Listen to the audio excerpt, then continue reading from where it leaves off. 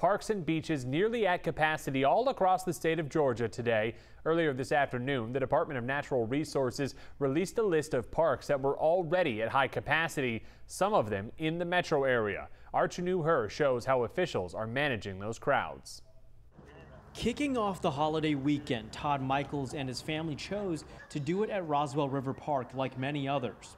We've been looking forward to coming down to the river. It's a gorgeous weekend. People were out kayaking, tubing, and out there with them were Roswell police, ensuring everyone was following social distancing guidelines. Usually everybody's uh, a good distance, and it just is a good chance to get outside and get some fresh air. Michael says his family knew to keep to themselves, away from other large groups. We've done this a couple times in the past, so nothing's really changed to our procedure. But again, I wouldn't be going with a group of necessarily strangers floating down the river. But, you know, this is our family. It's a chance for us to get outside and enjoy uh, Mother Nature on this fine weekend.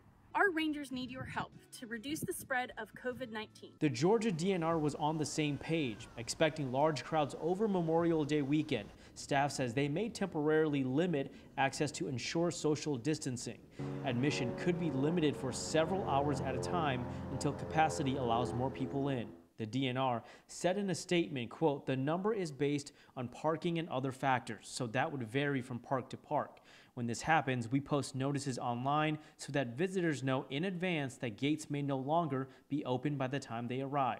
The DNR suggesting perhaps visiting lesser known parks and parks closer to your home, doing what you can to help them make the parks safer.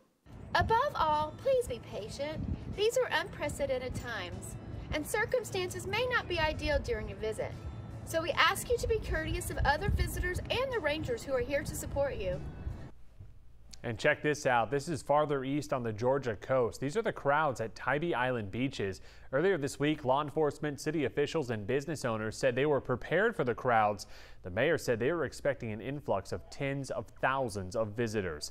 Also, thousands of people hitting the beach in Myrtle Beach, South Carolina. Social distancing and personal hygiene guidelines are still in place to slow the spread of the virus.